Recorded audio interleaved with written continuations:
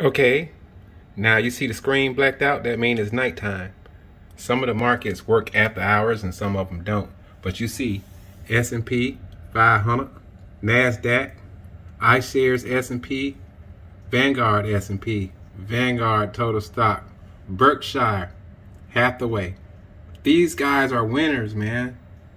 That's why I choose them. So make your account with Robinhood, man. Use my link connected to this video.